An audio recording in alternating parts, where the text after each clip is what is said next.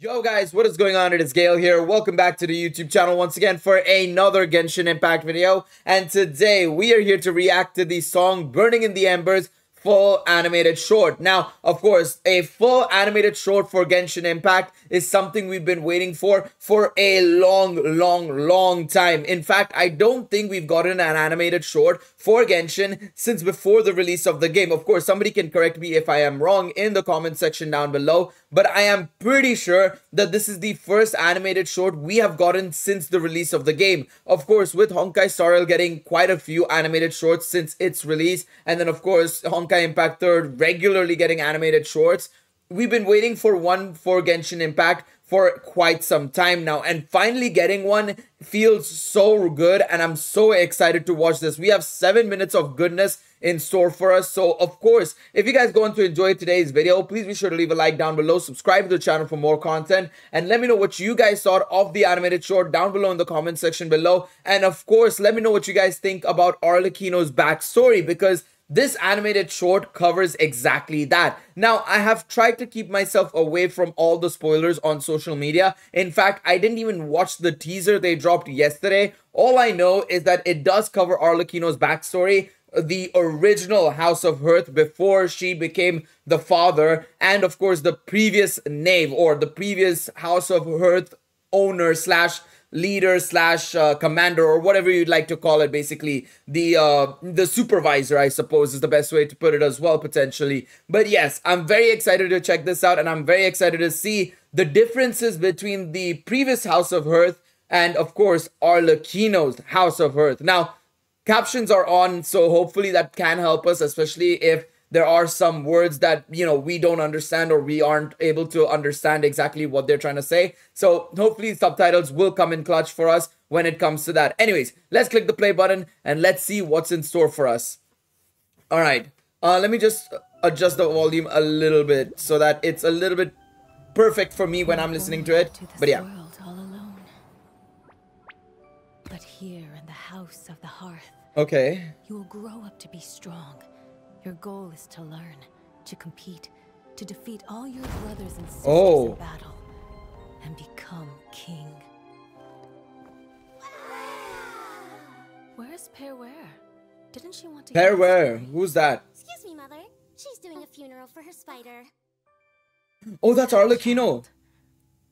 Maybe her curse is flaring up again. Peruere is oh. actually Arlecchino's real name.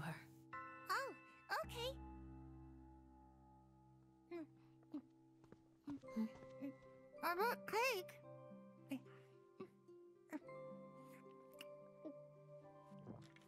You you want some? Sure. Uh, okay. You must know spiders don't eat cake. Oh, yeah, I know. oh, the music. Oh no. There has to be some depressing story behind every all of this.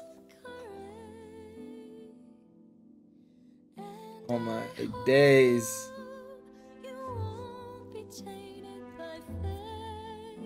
Oh shit.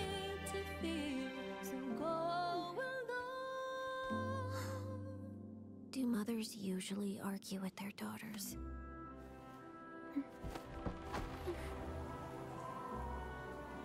I heard that in Snezhnaya, colored light dances in the sky at night.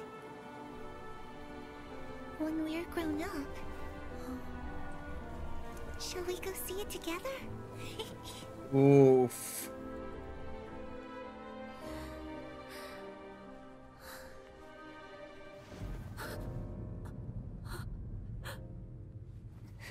Oh no. You will be a great king. Oh no. This is yeah, this is what they were referring to at the start. You will defeat your brothers and sisters in battle to become king. King of the House of Hearth. Thank you. Oh shit. And she must be the girl in the uh, key art as well.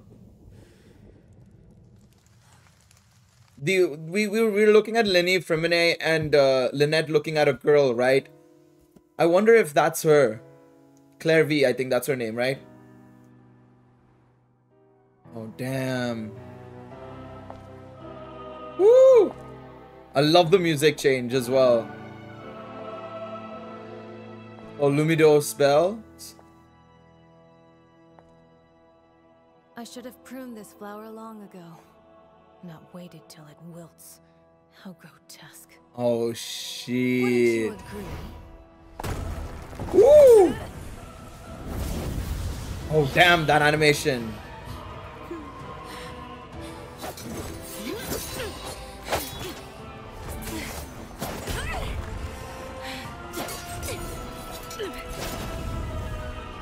I'm gonna cap shorthead Arlecchino kind of cute, not gonna lie. Beautiful qualities. Sadly, they're all so useless. Woo! So I assume she's like the original mother, basically, because they called her mother, right? That's what uh, Arlecchino was referring to earlier on.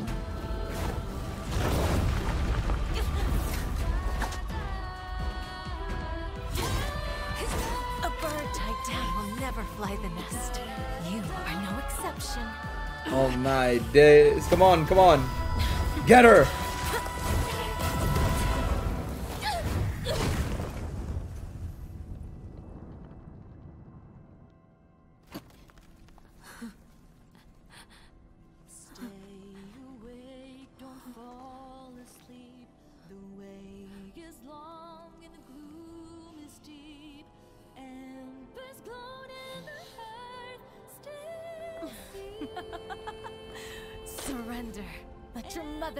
You. Yeah, there you go.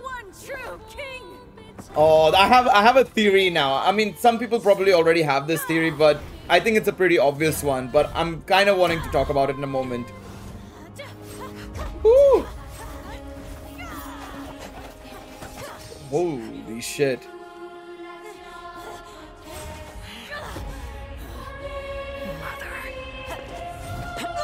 Woo! That is sick.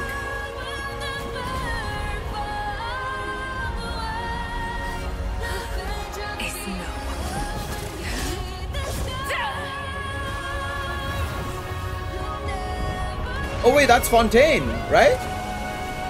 That has to be a location in Fontaine, 100%.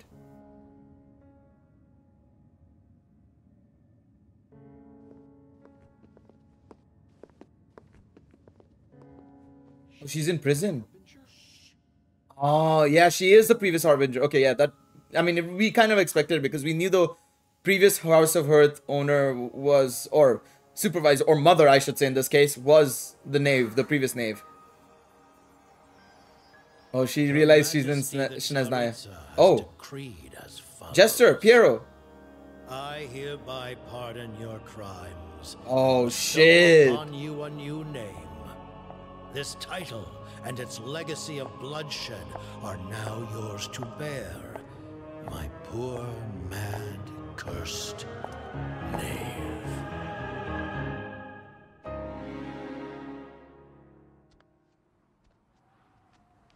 Wait, who's that? Wait, is that Freminet? I thought that was good. I'm not gonna lie, I thought that was Aventurine initially. Come with me. I will raise you. I think that is Freminet, yeah like a strict and unfeeling father. Yeah, they con confirmed it there. Woo! Oh, that was sick, man. That was absolutely sick, man. Hey, listen, I still maintain and we still need that Genshin anime, man. Shit would bang, bro.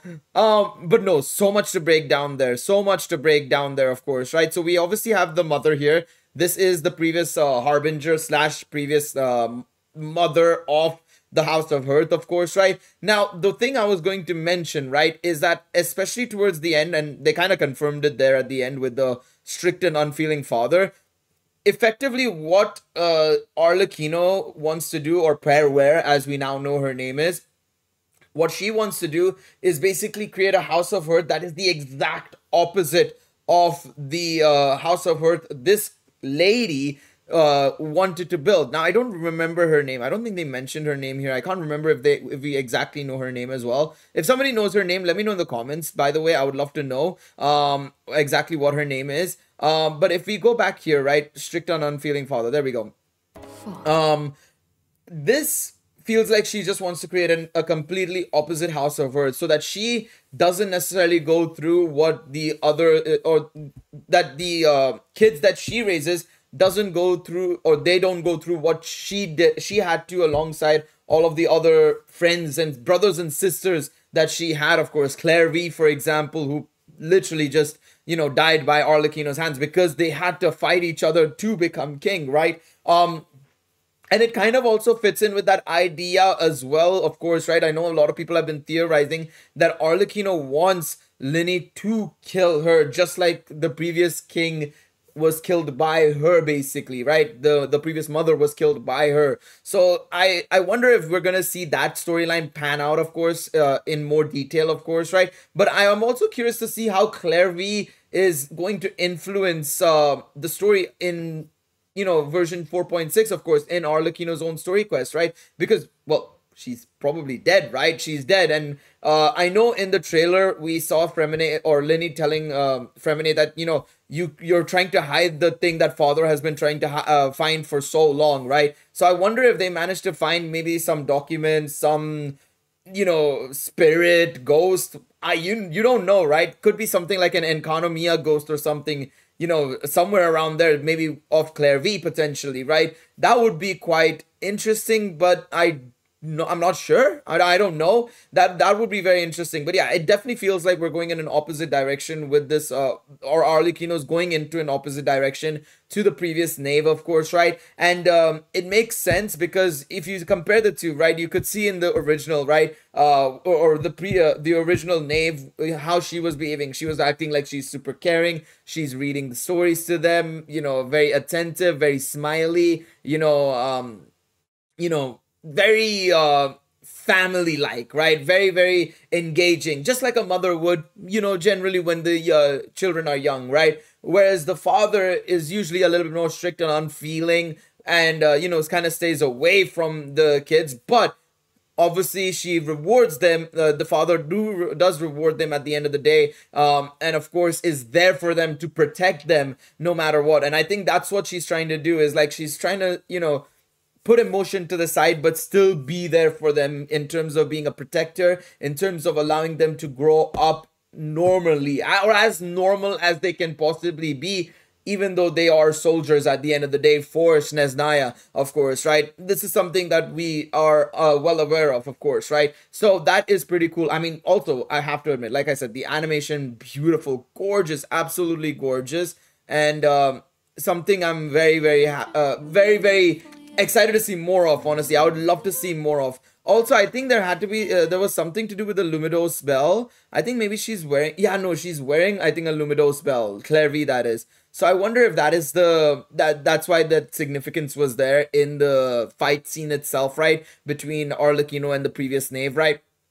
But I'm also quite curious to see, uh, I mean, I assume that because they had uh, Clervie versus Arlecchino probably was the final fight before you know Arlecchino went and killed the previous uh, uh, knave, right? I think that that might be uh, that's the reason why we don't know what's happened to this girl also as well, the girl on the left, of course, right? So that's probably what it is. Honestly, I think that's probably what it is. Now, one thing I wanted to check, I might have missed it entirely, is the uh, uh is the scene with the harbingers. So we have Il Capitano on the right.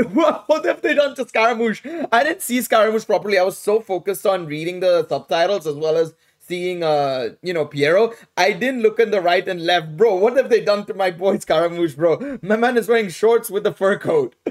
that is a that is a um, that that is a fashion statement in itself to be quite honest okay but il capitano on the right signora on the right so this seems to be the very early days of the harbingers. But I wonder what where is I mean Dottore is probably go off doing his experiments and stuff.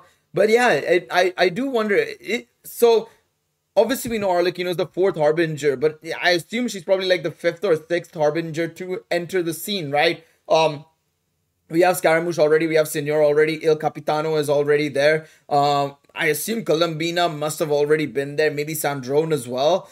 I I know Tartaglia is one of the newer harbingers, of course, right? Uh, I don't know about Pulcinella and pa- Pantalon, how where they stand necessarily, right? But all of these are older harbingers. These are harbingers from effectively, you know, centuries ago, basically, effectively, right? So it's going to be quite interesting to see how they this pans out, of course, as well. But yeah, no, I, I loved this. This was absolutely fantastic. The animation was gorgeous. The way they handled the storytelling as well kind of makes us feel for Arlecchino as well. And uh, obviously, it does kind of portray her less in a negative light, I feel for sure, right? A lot of people were really hoping that she would be like this evil persona or, you know, this evil character. And th- there is still a chance that she might not be like a perfect individual. She might have her flaws but I don't think she's as pure evil as some people were hoping she would be. And that's the thing. I feel like none of the, I mean, outside of Dottore, outside of Dottore and maybe a couple of the others,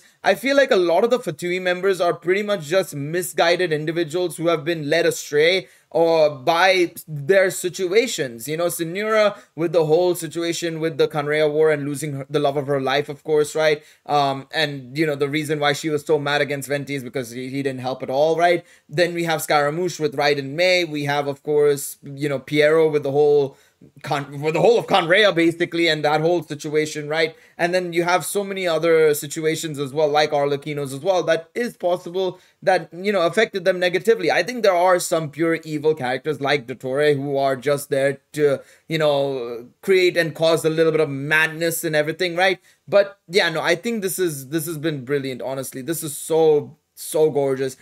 I, I need to learn a little bit more about this. So, of course, if you guys have any further information that I can pro- probably use and understand more, feel free to let me know in the comment section down below. But I do think that this is a place in Fontaine, if I'm not mistaken, the uh, place that they destroy or Arlecchino just blew the hell out of. Um, I'm pretty sure I recognize this place even after it's destroyed. So maybe that might be where we do our summons for Arlecchino next week. But yeah, let me know what you guys thought about the animated short in the comment section down below. Thank you guys so much for watching this video. Please be sure to leave a like down below, subscribe to the channel, and I will see you guys in the next one. Until then, take it easy, everybody. Bye-bye.